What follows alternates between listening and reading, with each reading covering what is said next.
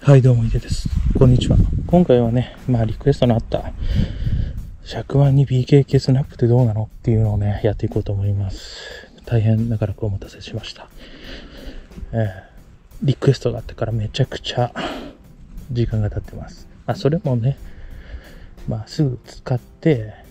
少し投げてどうなのかっていうのは僕的にはなしなので、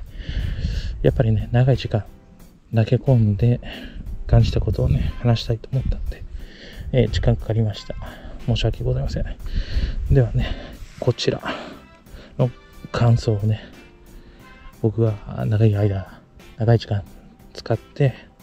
思ったこと、話していこうと思います。まずね、投げる前にお話ししておきたいことがありまして、BKK スナップ、はい、スタジオシャマークのオーシャンスナップ。もうね、同じ強度ぐらいですけど、まあ重ねたらね、だいたいサイズ一緒なんですけど、だいぶね、スマートかと思われますが、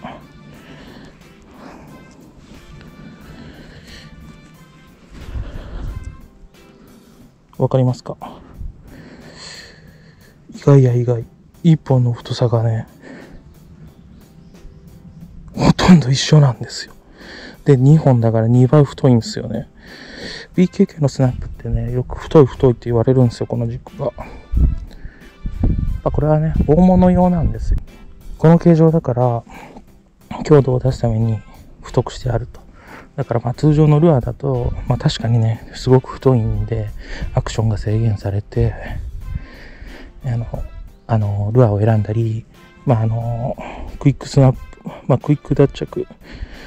できるね、メリットというか魅力があるんですけど、できないルアーも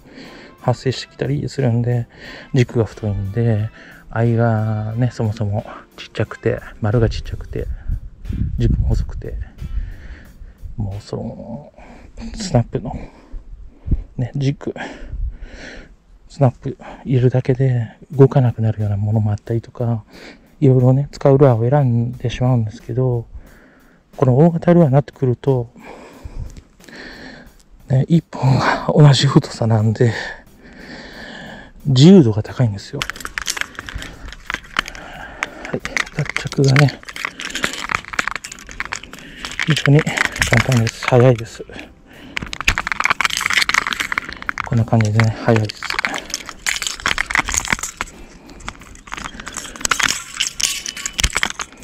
早いですね。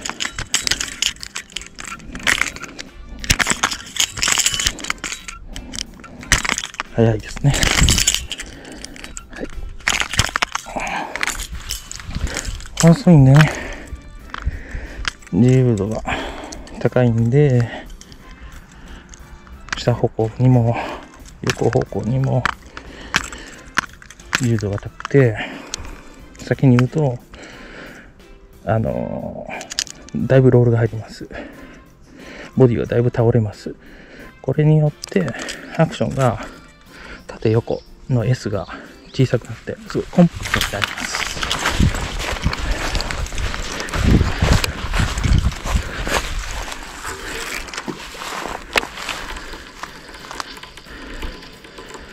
見えますかね？わかりますかね？コンパクトになります。2倍あるオーシャンスナップだと二重なんで動きが抑制されるんですけど、その抑制されることによって、ね、横の、S の横は結構大きいんですけど、縦はね、まあ短い。短い。すんごい U ターンする感じで泳ぐんですけど、これは S がね、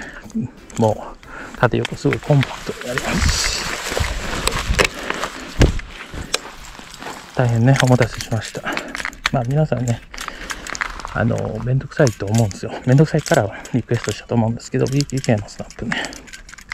この脱着が早いメリットなんで、えーあとね、ハーフヒッチめんどくさい。家の組みたくないっていう人たちにお答えして、今回ワダナットでやってます。っていうか僕は普段からワダノットでやっています。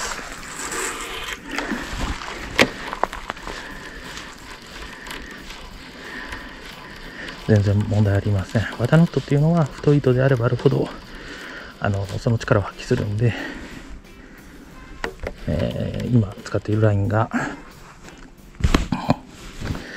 えー、10号なんで、40本に近いぐらいの強度が出てますが、そういう糸だと、結束強度100%超えてきたりするのが、ワタノットなんで、まあ、細い糸だと、まあ僕は3号以下は使わないんですけど、えー、あの、結束強度が100%にならないこともあるんで、まあただ、ね、乗っとくのが早いんで使ったりするんですけど、まあその速さがやっぱいいんですよね。TN でね、ハーフイッチ組まずに、さらに、ね、結束がもうほんの数秒あればできるっていうのがね、ワダナットにハーフイッチ1回してます。ハーフイッチ1回もいらないです。別にね、抜けないです。太いとなれば、なるほど、抜けにくいんだよね。で、ハーフイッチっていうのは、ね、基本的に大物。まあ、バスでも、その大物を釣るときの要領で、まあ、ハーフイッチをたくさんね、長く組んだりすると思うんですけど、歯がね、大物強いんで、こういうね、10号とか使ってても、歯で擦れて切れたりするんで、まあ、守るっていうのがメインで、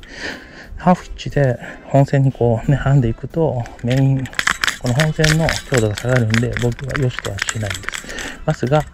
歯で切れたりとかしないんで、これで十分だと僕は思います。ね。で、まあ、これが壊れないのかとか、外れないのかとか、いろいろあったと思うんですけど、リクエストしてもらったわけですが、え長いことを投げ込んでからじゃないと答えは出せんと思ったんで、まあ、大変長い間お待たせししましたが、ちょっと時間がないんで駆け足でいきます。ね、大丈夫です。はい。 PE ラインとかは、まあ、細いのとか使うと、いや、編み込み数が多いのとか使うと、やっぱり滑りやすいんで、ハーフヒッチ、ハーフヒッチっていうのが必要になってきたりすると思うんですけど、太い P ラインとかでも、まあ、ジャイアントとかだと8号とか太いの使うと思うんで、そうなってくると、普通にワダノットだけで、単体だけでいけると思います。ハーフヒッチ買いもいらんと思います。まあ、今回ハーフヒッチ、ね、一回上にしてますけど、まあ、基本は下の方がいいと思いますね。はい。で、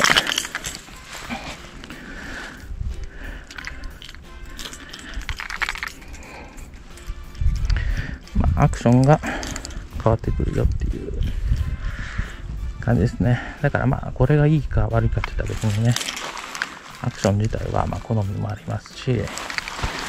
まあ、自由度が高い。愛で自由度が高くなると、ね、ロードとかもしたりしやすくなるんで、まあ、コンパクトに動きが水をしっかり噛んでなるんですけど、ボディとかで水をしっかり受け止めるようになると、ワイドな動きになりやすかったりとか、まあしますよね。まあ僕の場合ここ削ったりとかしてますけど、削ることによって横に、ね、U ターン、激しい感じにして、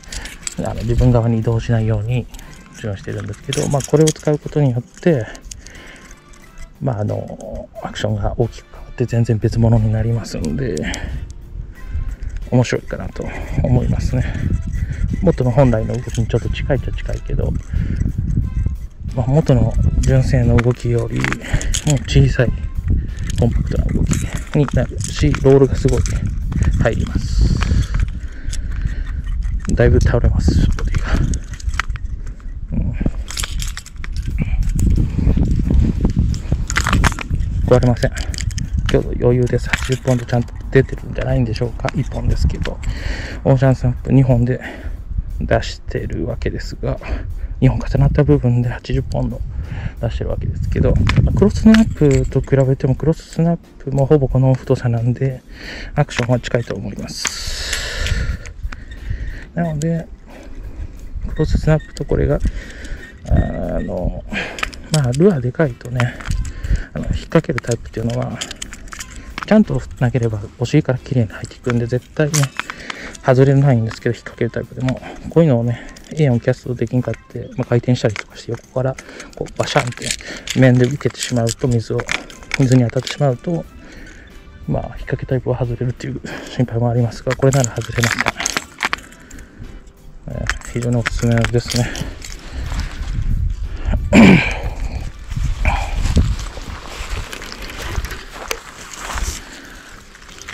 1月17、8ぐらい、20ぐらいだったかな。約1ヶ月前、3週間前、まあ、忘れた。尺腕でね、こう投げて、こうやってアクション見て、こうね。たら、1投目で、前回釣り行った時のその時に1投目で釣れてしまったんで、これで。しかもまあ30センチぐらいで、もうこれと同じぐらいのカメラ回してないですね。この BKK のテストをしてただけなんで、初バス、尺腕で、ね、尺バス釣れたっていうのが、皆さんにお届けできなくて、まあ、とても 残念なんですけど、ま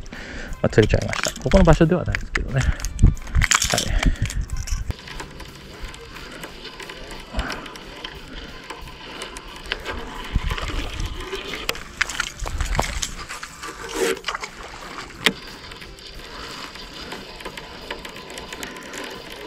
頭が入りすぎて、頭が入るというか、倒れて入るんで、水を受けながら頭が入るんで、横がね、小さくなって、縦は移動距離が短くなりますね。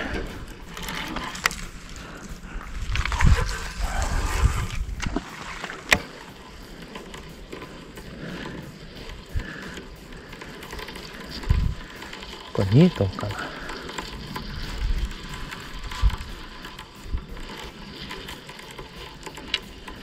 まあ、小さく小さく動くようになりますね。自由度がありすぎて。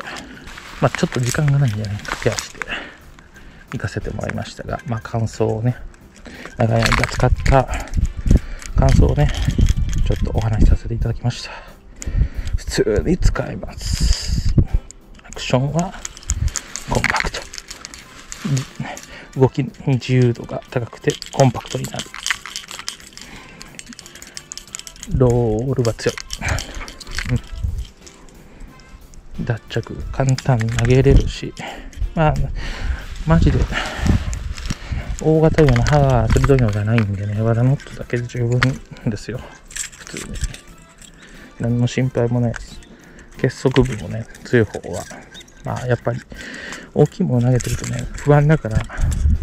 何かしら、その結束部が弱いんじゃないかとでもマグロ対応というか、マグロ向けにね、ワダノットって、考案されてるんで、やっぱ強いっすよ。まあ、ワダノットだけじゃなくて、簡単な漁師系の結びとか、まあ、とにかく、その、ね、シンプルに、シンプル、すごいシンプルなノット全般大丈夫だと思います。まあ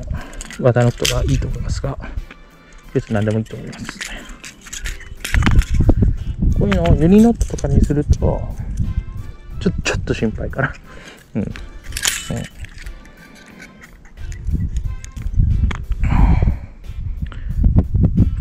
まあ、簡単なやつっていうのは、まあ、締め込みがね、弱い感じするんですけど、やっぱ心配になったりする人いると思うんですけど、太い人だと結構大丈夫。てか、細い人でも大丈夫だけどあの、ノットの組み方がね、悪いの、悪い場合に、まあ、消えたりとかしてることがほとんどだと思うんで、ドロンともね、ね長年ね、先人たちが使ってきたノットっていうのは、そんな悪いものじゃない。その乗ったね結び方が自分が悪いっていう場合がほとんどなんで結束部分が弱いっていうのはそれだけそのちょっとねクロスしたりとかしてしまってそのままこう締め込んだりすると一気にめちゃくちゃ弱くなるんでそういうのだけ避ければいいかなと思います高評価コメントチャンネル登録励みになります